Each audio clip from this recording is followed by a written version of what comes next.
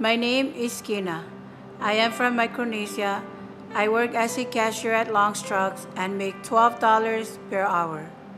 In April, I purchased a used 2019 Hyundai from a new car dealership.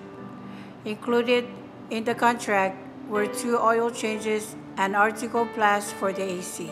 I later found out that at 24%, I will pay $10,000 for the oil changes. Unfortunately, I could not make the $970 monthly payment and lost the car.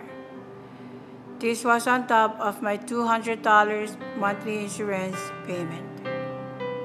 I lost my $2,500 down payment and I will have wage garnishment.